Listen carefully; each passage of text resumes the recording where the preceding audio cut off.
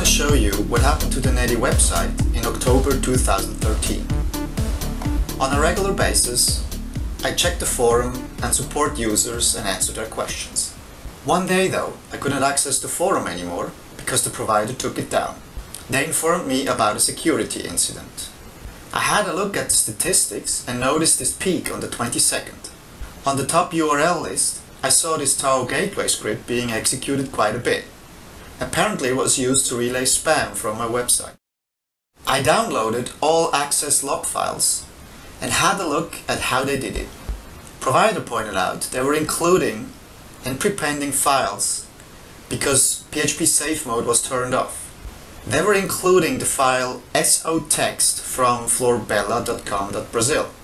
This is a web shell allowing you to browse files, databases and of course upload files, amongst many other things.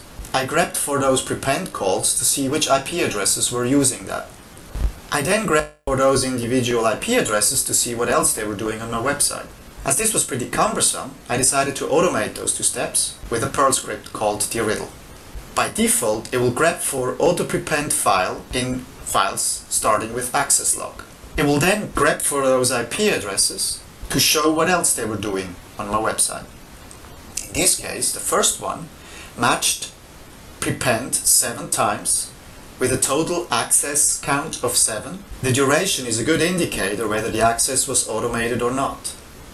I then realized there were other PHP scripts being executed, like hgerhc on the bottom.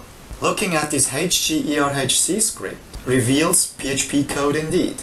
It evaluates whatever is base64 encoded in this data. Looking at the base64 decoded script, there's a lot of gibberish at first glance. But those are only comments, and the actual code is in between the comments. In this case, the attacker can use a properly formed request to execute any code on my web page. Now DeRiddle could match on HGERHC as well to correlate similar requests. Here we can see that we had one attack being used with HGRHC and the same IP address was scanning all possible subdirectories. After checking the file system and the databases, I decided to delete everything and reinstall NeDi and the forum from scratch.